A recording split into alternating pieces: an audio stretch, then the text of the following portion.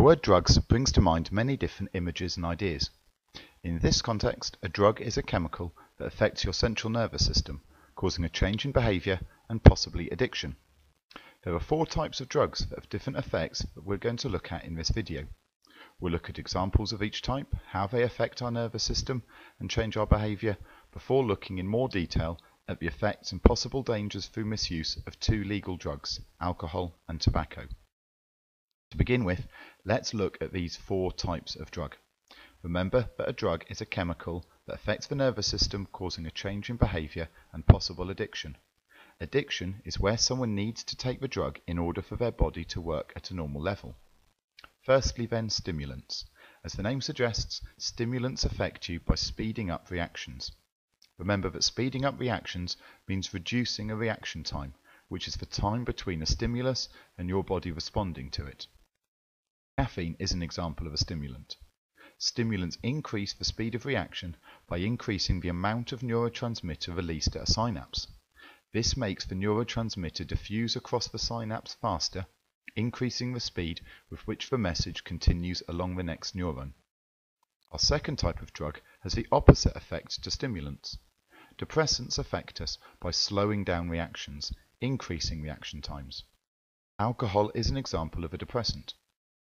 Because alcohol makes you take longer to react to a stimulus, this is why it's illegal to drive with alcohol in your blood above a certain level.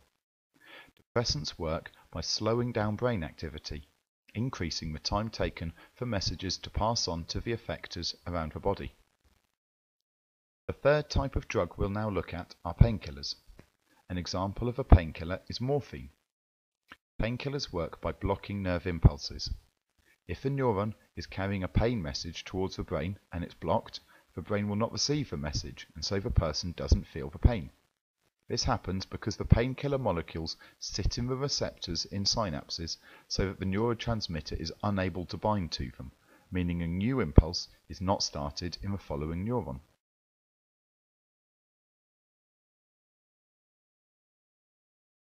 Finally, hallucinogens change the way we perceive or experience the world around us. LSD is an example of a hallucinogen. These cause the messages that our brain receives, which would allow us to understand what's going on around us, to be very confused, so that the way we respond to things that we're seeing, hearing, or feeling might well be very different to what's normal. Smoking has become less common in the UK over the past few decades, as people have understood more the harmful effects associated with it. Nicotine is the addictive drug in tobacco. It's a stimulant, working in a similar way to caffeine as well as being one of the most addictive substances we know. As well as nicotine, smoking also causes many other substances to enter your body. Carbon monoxide reduces the amount of oxygen that your blood can carry. This is particularly dangerous for pregnant women, where the reduced oxygen can stop the developing child from growing properly. This leads to an increased risk of miscarriage, or at least a low weight at birth.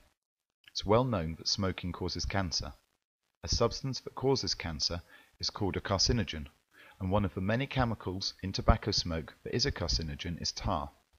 Because of how the smoke is breathed in, smokers are most at risk of developing cancer in their lung, throat, or mouth.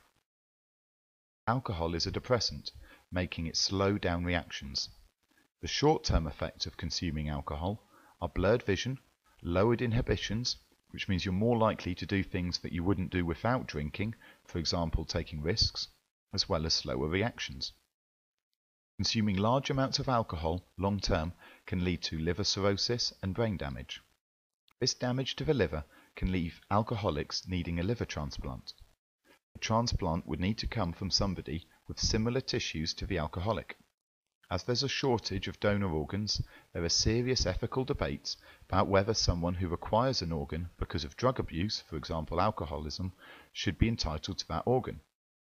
Doctors need to make decisions about who needs and deserves donor organs when more patients need a transplant than there are donor organs available. In summary then, drugs are chemicals that affect the nervous system causing a change in behavior.